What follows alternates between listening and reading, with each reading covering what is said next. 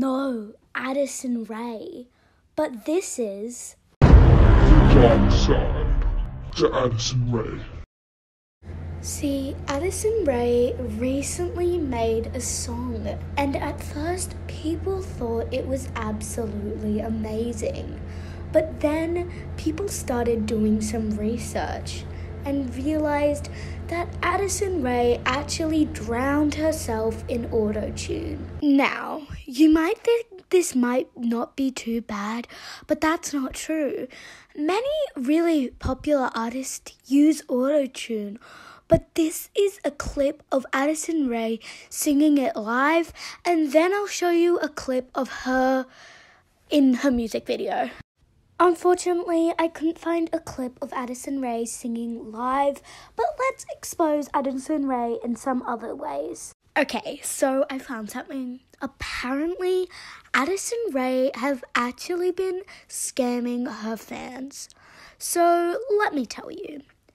Basically, Addison Rae came out with a face mist that apparently protects you from blue light which personally I don't think is true.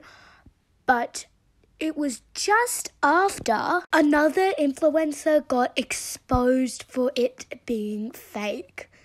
Now, obviously, Addison Rae was very embarrassed about this. Um, I mean, I would. Anywho, this is a picture of Addison Rae using her product. I mean, she looks very confident in it. That now we are going to look at Addison Rae being completely exposed for being horrible and rude to one of her fans. Let me show you a clip of Addison Rae refusing to do an autograph for a fan. Now, I get celebrities or influencers don't always have every single time in the world, but she didn't seem like she was in a hurry. Take a look at this video. problem. I just don't have time right now. I'm so sorry. I just have Did to you have put my name on this one, Addison? Addison, what Ugh.